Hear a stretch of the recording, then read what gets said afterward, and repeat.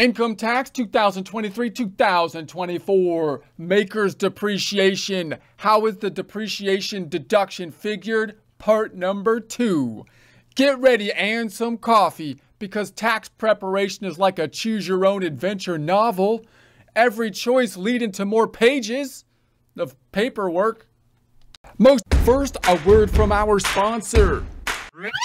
Yeah, actually, we're sponsoring ourselves on this one because apparently the merchandisers they don't want to be seen with us. But but that's okay, whatever. Because our merchandise is is better than their stupid stuff anyways. Like our trust me, I'm an accountant product line. Yeah, it's paramount that you let people know that you're an accountant.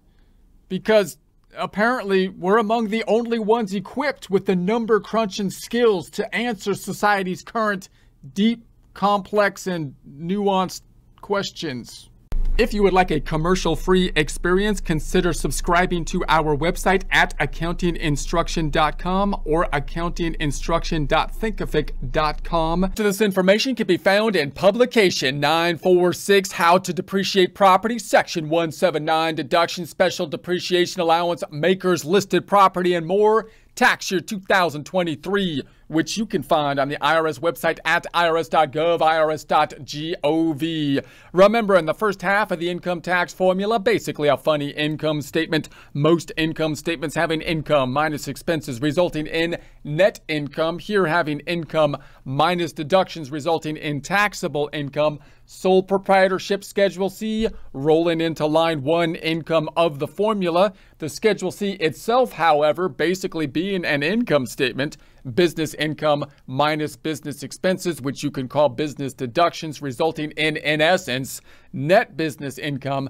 which is what rolls from the Schedule C into line one income of the formula. The formula outlining the calculation on Form 1040, this being the first page of the Form 1040, Schedule C ultimately rolling into line 8 additional income from Schedule 1. This is the Schedule 1. Additional income and adjustments to income Part 1. Schedule C rolling into line 3. Business income or loss. This is the Schedule C. Profit or loss from business. Having an income statement format. Income minus expenses. We are on the expenses side, usually having the most categories within it. Some expenses being more complex than others, such as depreciation, which we saw in prior presentations even if we have a cash method, we're forced to do some accrual things by the tax code, such as not expensing something like property, plant, and equipment, but putting it on the books as an asset, which is difficult to do given the income statement format of the Schedule C, therefore needing depreciation schedules, recording the balance sheet asset account of property, plant, and equipment, and related contra asset account, which is accumulated depreciation and calculating the current year expense depreciation expense.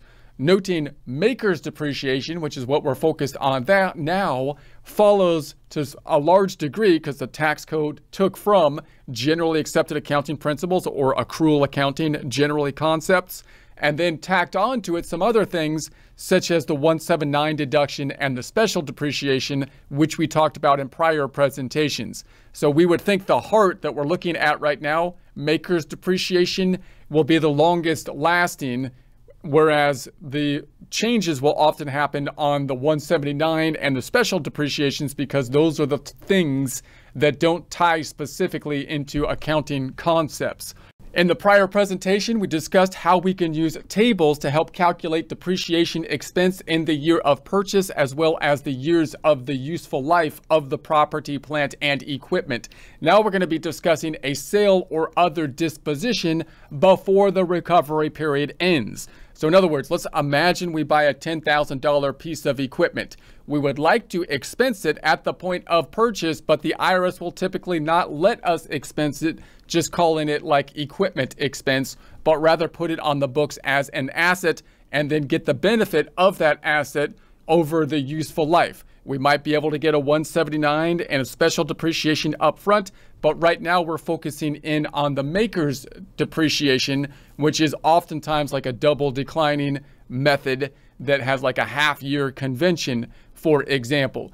Tables can often help us with those calculations, as can, of course, software help us with those calculations.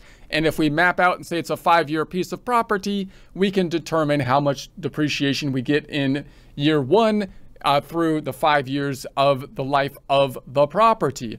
Of course, there will be a kink in that logic or that rationale if we sell or dispose of the property, especially before it has been fully depreciated, before the five years have ended, before we've gotten a benefit from the cost in the form of an expense of depreciation expense over the useful life of the property. So that means when we sell something, we're going to have to take it off the books. This is one of the more problems or one of the complexities with an accrual system, which is one of the reasons we often like to default to a cash-based system.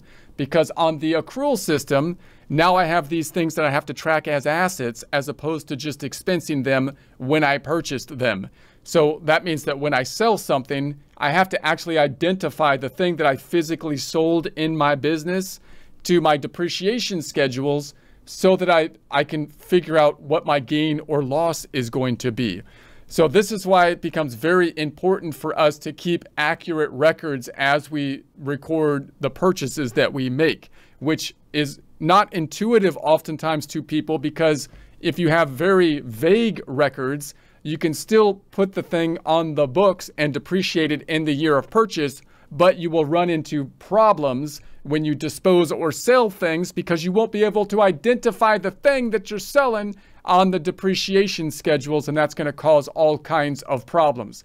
So as we as we discuss this, remember that when you put things on the books for depreciation, you want to be able to give identification numbers if possible. You want to break out the thing you're putting on the books to specific items. In other words, if I bought 10 computers, I don't want to put it on the depreciation schedule as 10 computers, but rather as one 10 individual computers would be better because then when I sell the computers, I might sell just one of them out of the 10 of them, and I need to take one item off the books rather than taking one tenth of one item off the books, right? That's going to be easier. So just something to keep in mind as we put these items on the books. Now, when we take them off the books, we're going to have to figure out what the adjusted basis will be. In other words, how much of that potential energy, potential deduction, in our case, the 10,000, have we already taken and gotten a benefit on? And how much can we still consume at the point of sale, which will result in a lower gain. The bigger the basis, the lower the gain, which is good for taxes. We want less gain for taxes, or the larger of a loss. And again, losses are good for taxes in essence. Okay, so if you sell or otherwise dispose of your property, before the end of the recovery period, your depreciation deduction for the year of disposition will be only part of the depreci uh, depreciation amount for the full year.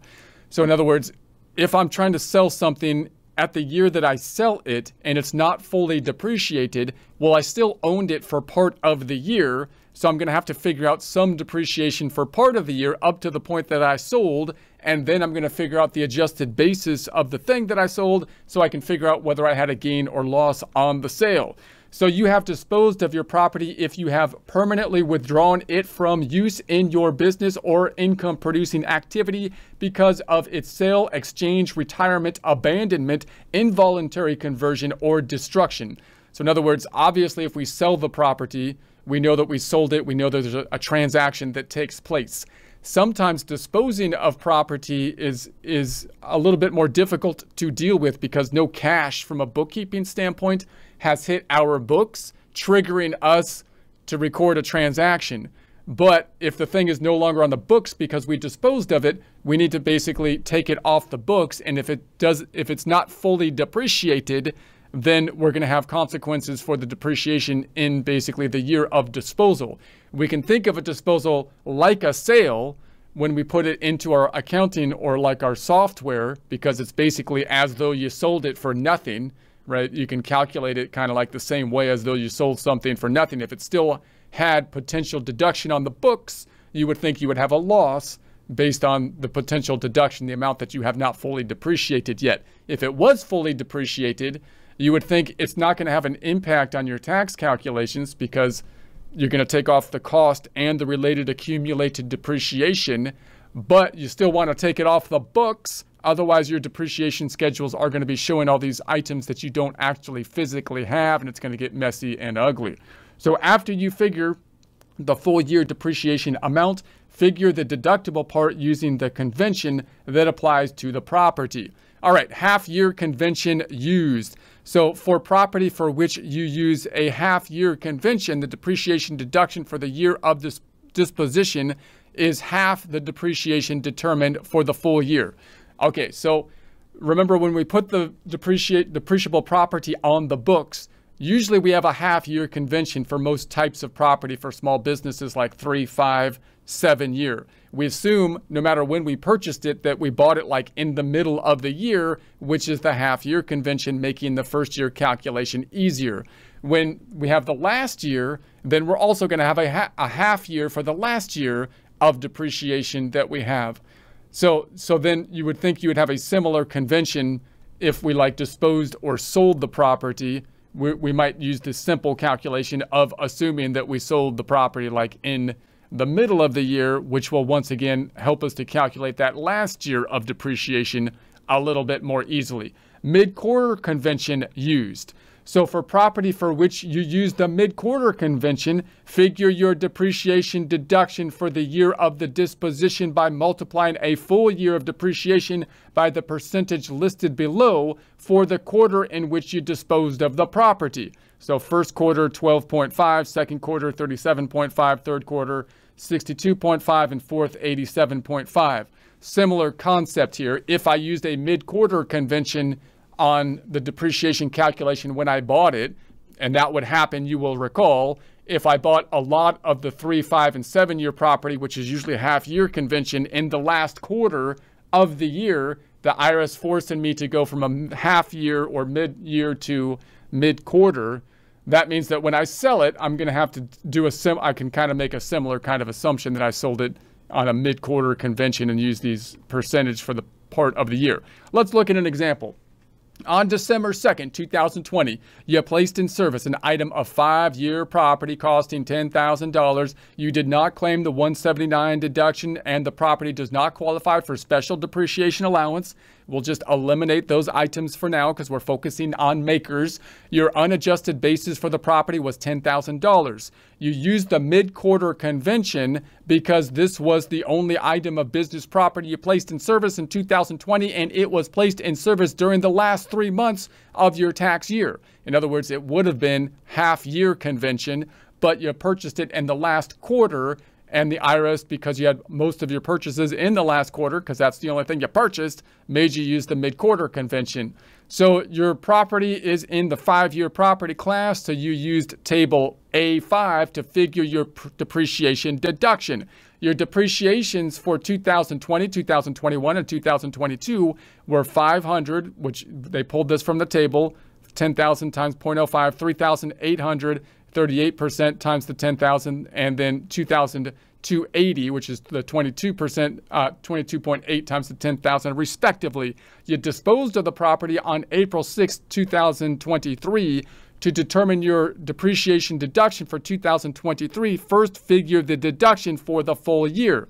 So now you're going to say, okay, I disposed of it in the year, but I held on to it for part of the year. So I'm going to have some depreciation for that year of deduction. Again, software, quite helpful to help you with these calculations, but you want to kind of understand it conceptually at the least.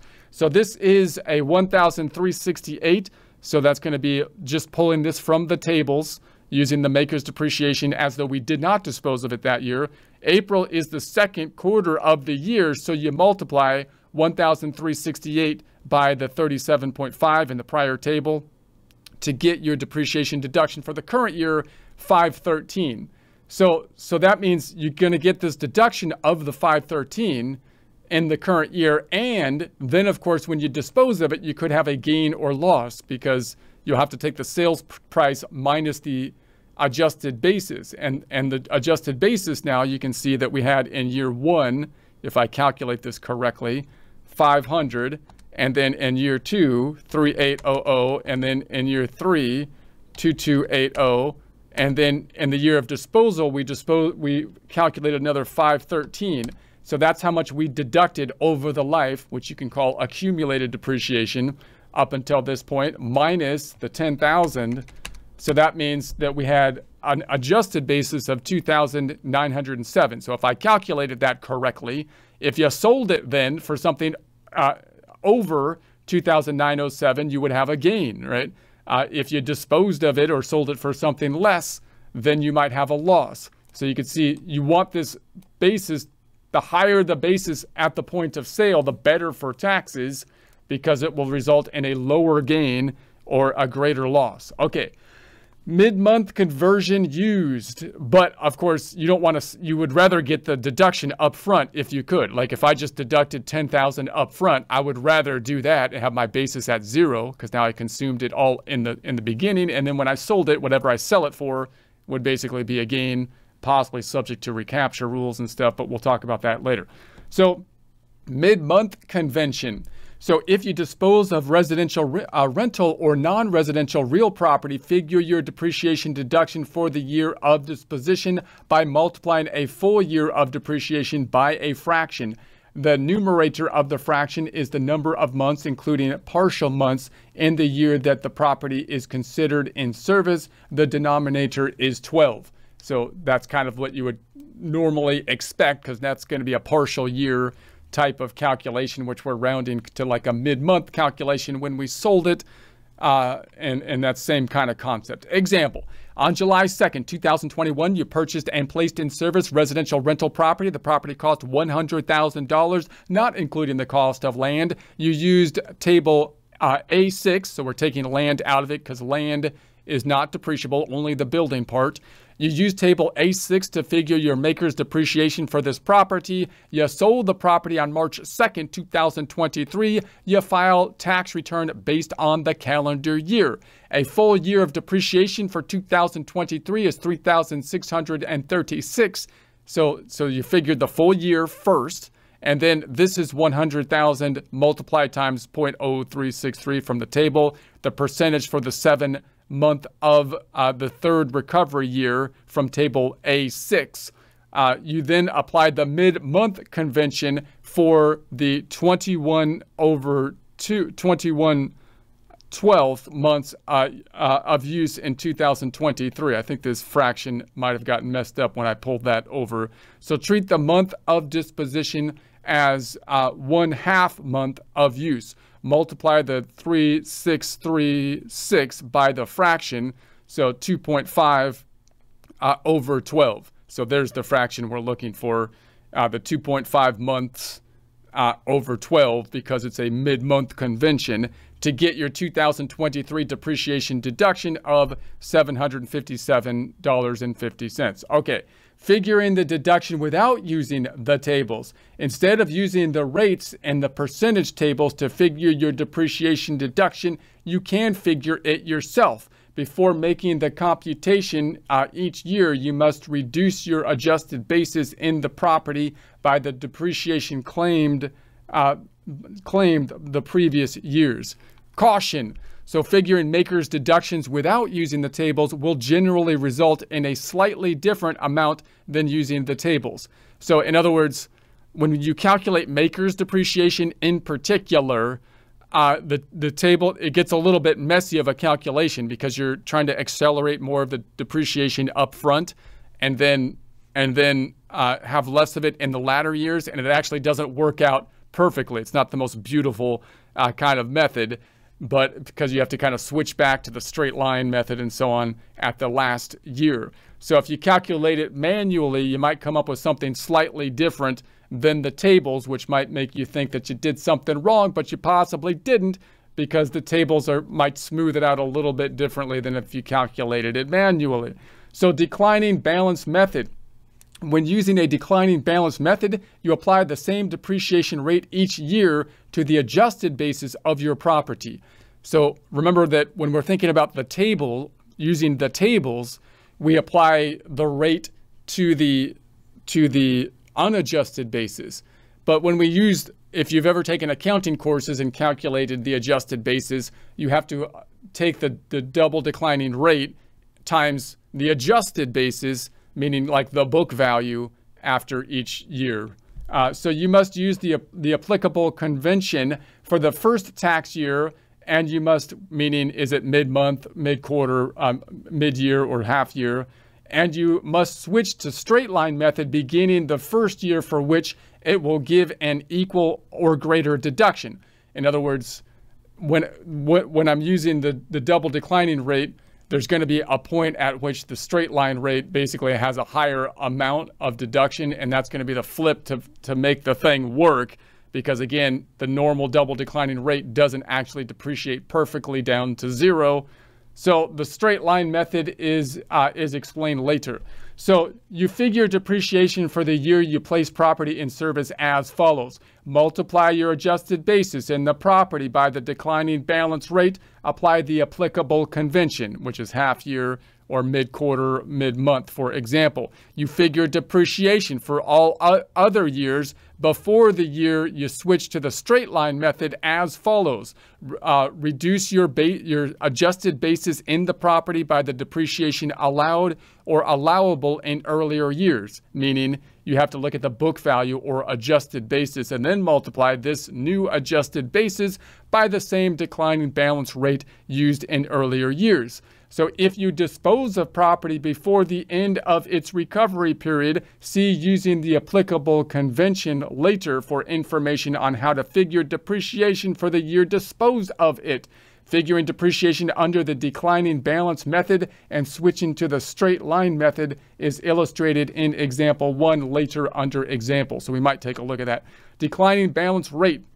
So you figure the declining balance rate by dividing the specific declining balance percent, 150% or 200% uh, changed to a decimal by the number of years in the property's recovery period. So for example, for a three-year property, uh, depreciated, depreciated using 200% declining balance, divide 2 by 3 to, to get 0.6667 uh, or 66.67.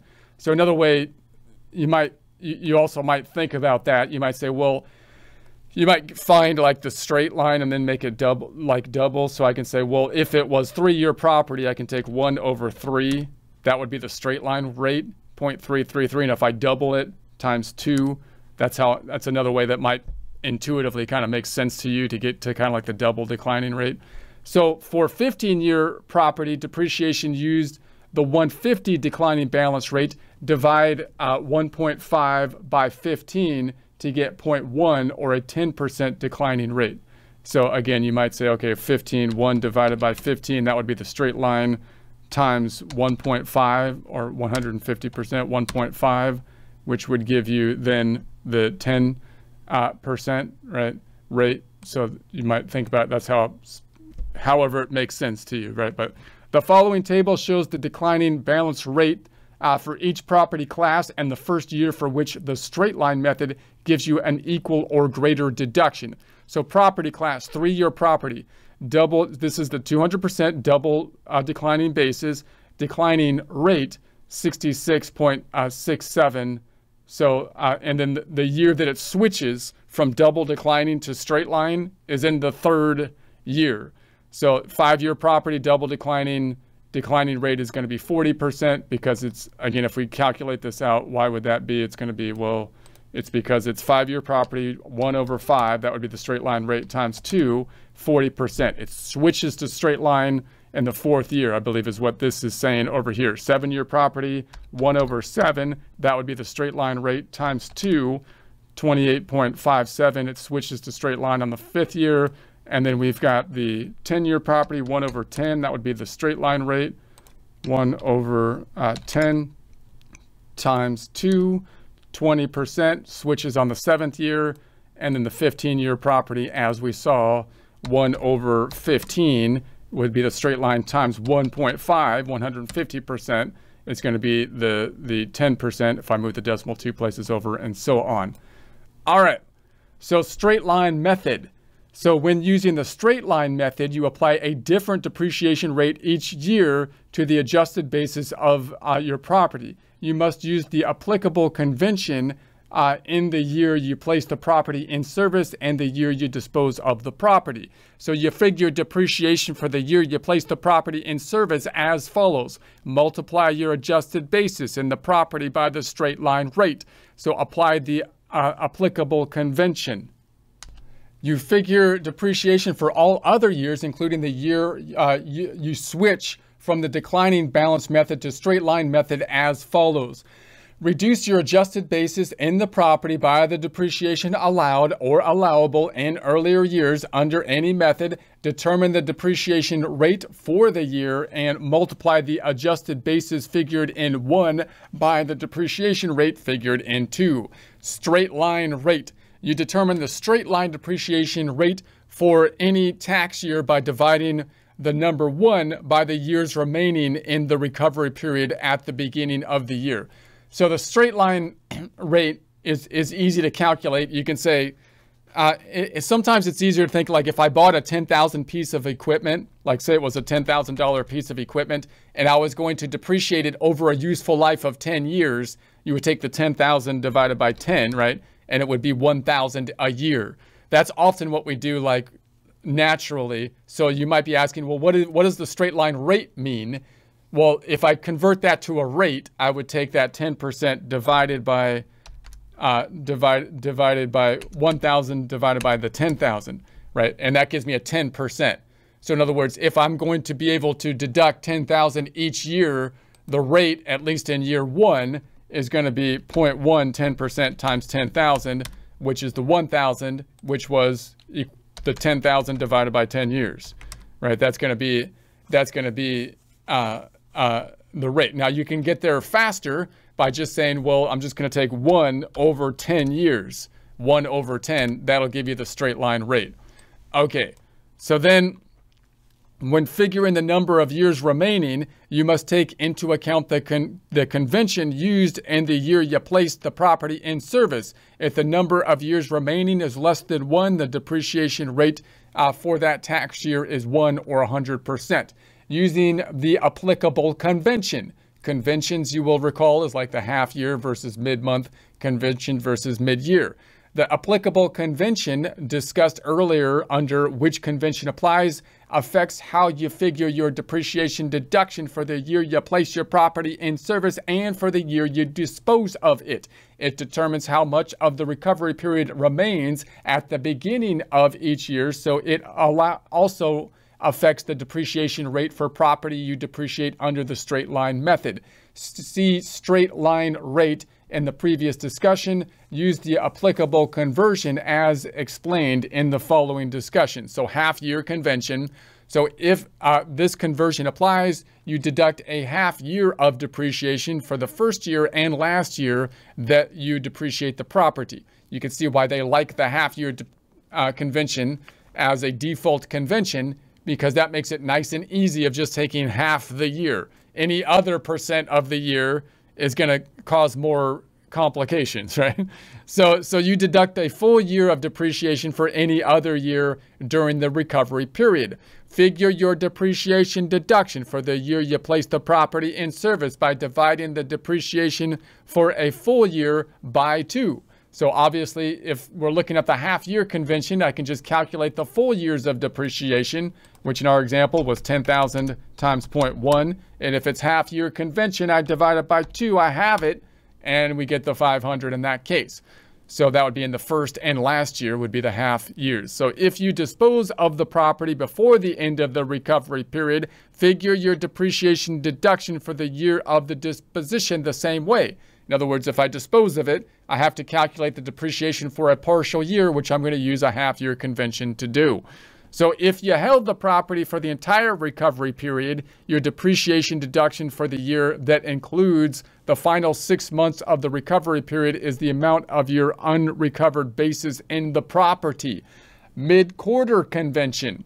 So if this convention applies, the depreciation you can deduct for the first year you depreciate the property depends on the quarter in which you place the property in service. This is similar to what we saw before in that if I purchased the property and I couldn't get a half year convention because I purchased it at the end of the year, the IRS makes me use a mid quarter convention, which will affect the point that I purchase it as well as disposition of the property at the back end. A quarter uh, of a full 12 month tax year is a period of three months. So, because we have 12 divided by 4 is three months in quarters. So, the first quarter uh, in a year begins on the first day of the tax year. The second quarter begins on the first day of the fourth month of the tax year. The third quarter begins on the first day of the seventh month of the tax year. The fourth quarter begins on the first day of the 10th month of the tax year. So January, February, March, April, May, June, July, August, September, October, November, December, right? So a calendar year is divided into the following quarters. First, January, February, March. Second, April, May, June. Third, July, August, September. Fourth, October, November, December, each of them having three months because 12 divided by 4 is 3. Figure your depreciation deduction for the year you place the property in service by multiplying the depreciation for a full year by the percentage listed below for the quarter you place the property in service. So first quarter, 87.5, second quarter, 62.5, and so on and so forth if uh, you dispose of the property before the end of the recovery period, figure your depreciation deduction for the year of disposition by multiplying a full year of depreciation by the percentage listed below for the quarter you dispose of the property. So here we have our worksheet first, second, third, and fourth. If you hold the property for the entire recovery period, your depreciation deduction for the year uh, that includes the final quarter of the recovery period is the amount of your unrecovered basis in the property. Then we, of course, have the mid-month convention, similar to what we saw before, so I'll go through it a little bit more quickly.